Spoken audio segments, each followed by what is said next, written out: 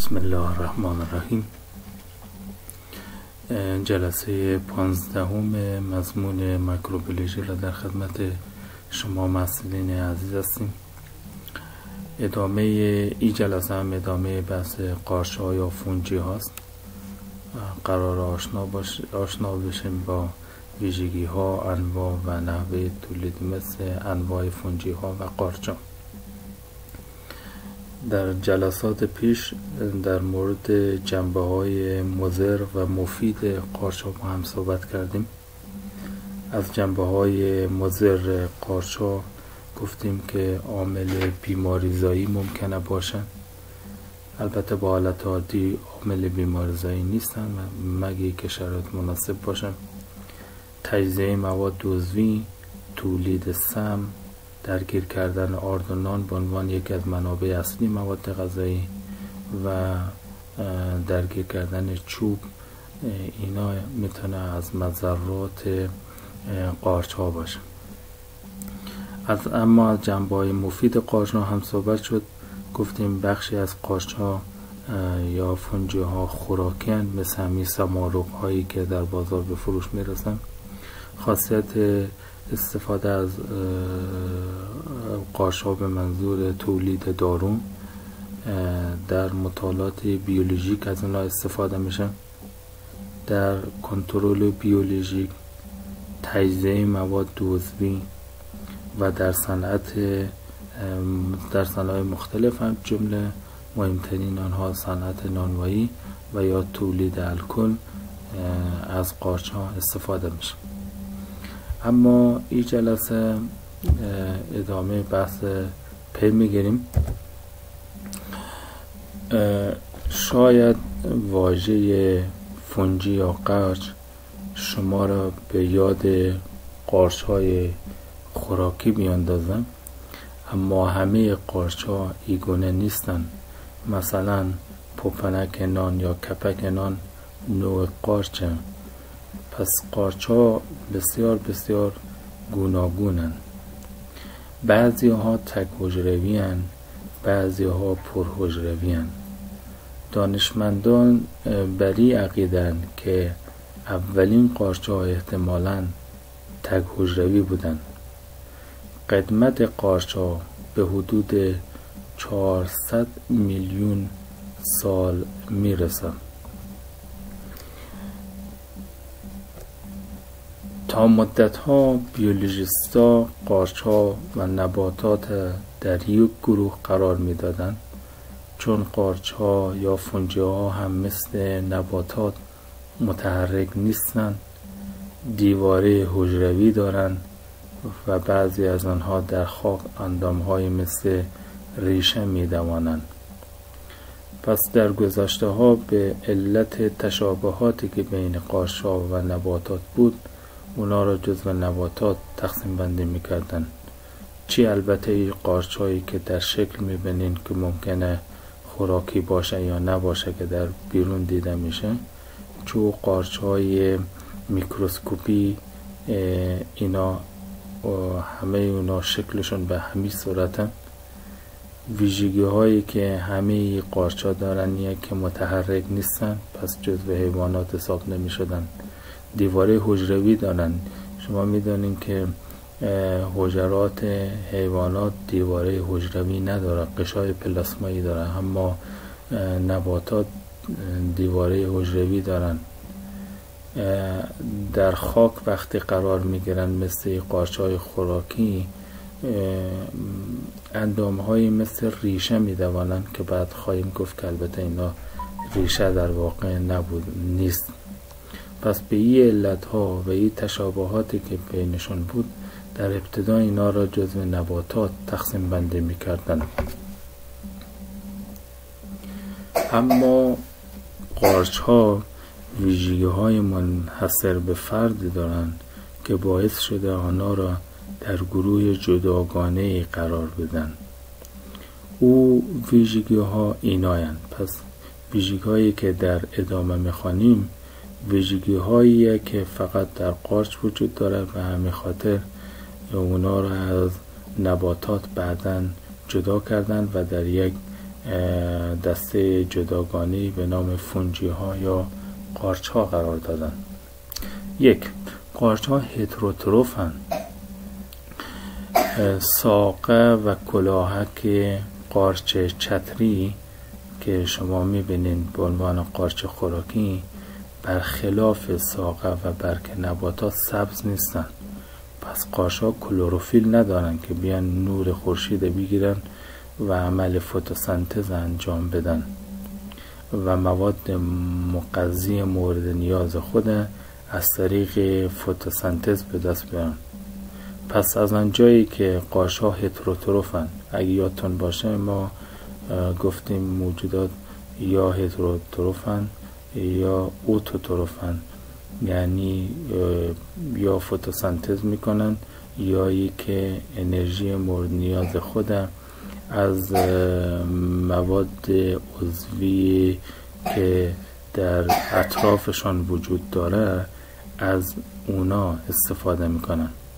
پس قارچ ها هم چون هتروتروفن انرژی خود از تجزیه مولکول های عضوی موجود در محیط خود به دست میارن دومین ویژگی که در قارچ ها دیده میشه قارچ ها بدن رشته‌ای دارن. نباتات از حجرات و انساج مختلفی ساخته شده اما قارچ ها از رشته های باریک و بلندی ساخته شده که ممکنه محکم به دور یکدیگر بپیچند و پیکر قارچ و ساختارهای تولید مثلی او را به وجود بیارن.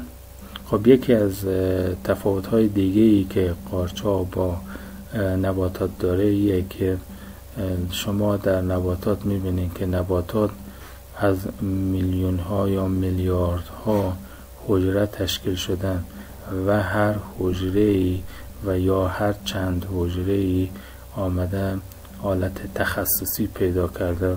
یک عده به عنوان برگ یک عده به عنوان آوندهایی که آب و به نبات میرسانه تخصص پیدا کردن. اما اما در قارچ ما همچین ساختارهای پیشرفته و پیچیده ای نداریم. در واقع کل قارچی که شما می‌بینین نمونش حالا مثلا چون قارچ خوراکی واضح تر دیده میشه اگر در او ساختار نگاه بکنیم اینا در واقع حجرات تکی و سازمان یافته و تخصصی نیستند اینا در واقع رشته های باریک و بلندی هستند که دور هم پیچ خوردن و شکل یک قارچ به وجود آوردن. مثل نباتات تشکیل نشدن از تعداد زیادی از حجرات و انساج های مختلف و تخصص یافتن. فقط رشته های باریک و بلندی که دور هم پیش می‌خوره. البته شکل و ساختار و پیکر پیکر قارچ به وجود قارچ به وجود میاد که شبیه می‌تونه شبیه یک نبات باشه. حالا این رشته های باریک و بلند هم بدنه قارچ به وجود میاره هم ساختارهای تولیدی مثل و همه چیزها از او رشته های باریک و بلند نشد می‌گیره. این رشته های باریک و بلند که چی هستن در ادامه ما شما وقتی قارچ ها رو ساختارشون رو بررسی می‌کنیم متوجه میشین که اینا در واقع حجرات حجراتی هستند که به صورت باریک و بلند ادامه میابند و رشد می‌کنن و تولید رشته های باریک را می‌کنن سومین تفاوتی که قارچ ها با نباتات داره یه که اینا دیواره حجروی قارچ از جنس کیتینه. یعنی در ساختار دیواره حجروی قارچ کیتین که یک پولیساکارات یا یک قند بسیار سختی است در, در اینا وجود دارن. این کیتین شما در نباتات نمی‌بینید.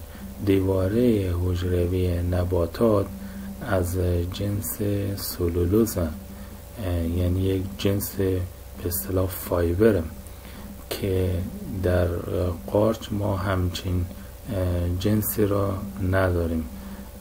اما در قارچ ها دیواره حجروی از یک پولیساکارات یا یک قند بسیار سخت دیگه به نام کیتین پوشیده شده که این کیتین اتفاقا پوشش خارجی حشرات نیز از همی جنسه این منحصر در قارچ البته.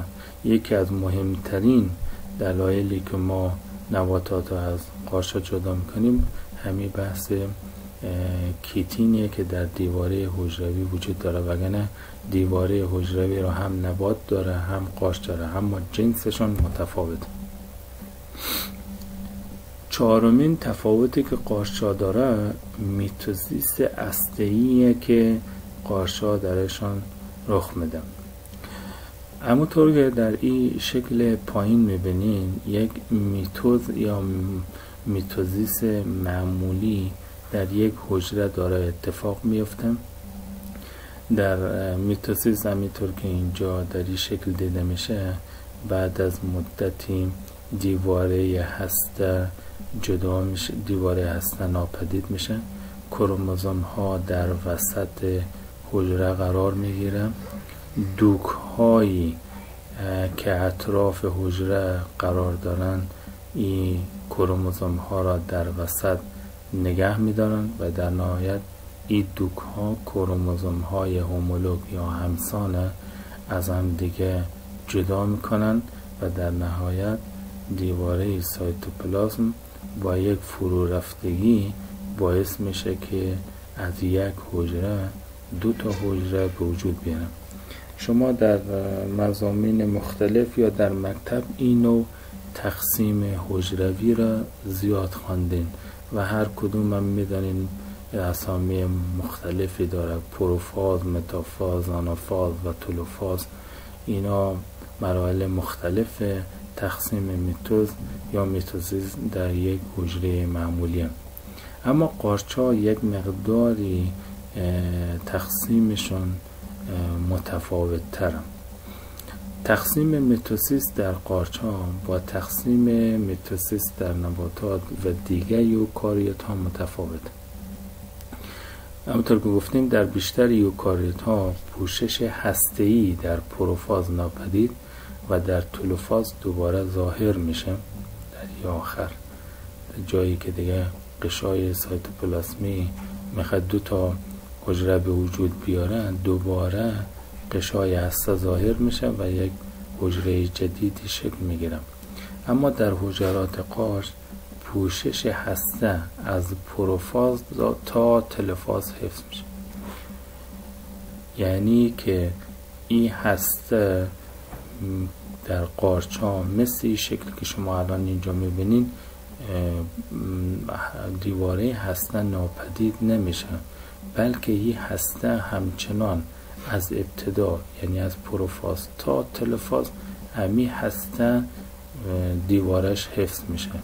در این شکل که اینجا می‌بینین دیواره هسته رو می‌بینین که کاملا از بین رفتن و کروموزوم ها در وسط حجره قرار گرفتن تا که تقسیم شن. پس در نتیجه دو که تقسیم درون هسته شکل می‌گیرن در حالی که اینجا می‌بینین دوک تقسیم در کل حجره شکل گرفتن. رشته های دوک کروموزوم ها را به سوی دو قطب هسته می‌کشند نه دو قطب حجره. و میتوسیس با نفوذ پوشش هسته به درون و تقسیم هسته پایان میابه میگه که در میتوسیس قارچا این دیواره هسته که شما اینجا می‌بینین از ابتدا تا انتها از بین نخواهد رفت. این دوک هایی که شما در حالت عادی می‌بینین این دوک ها در درون هسته اتفاقا شکل می‌گیره. کروموزوم ها را تقسیم می‌کنه یعنی نصف می‌کنه این دوک ها اما زمانی تقسیم پایان میابه که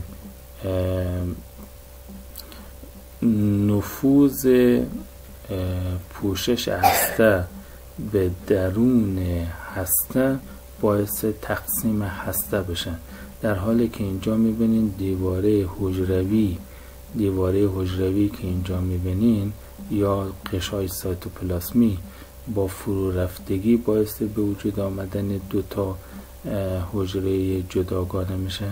در قارچ یا فونجی ها هسته که حالا دو قسمت شده کروموزومش باید در او فرو رفتگی ایجاد چه و با تقسیم هسته بعدا سایتوپلاسم هم تقسیم میشه و یک حجره قارچ به دو حجره تبدیل میشه.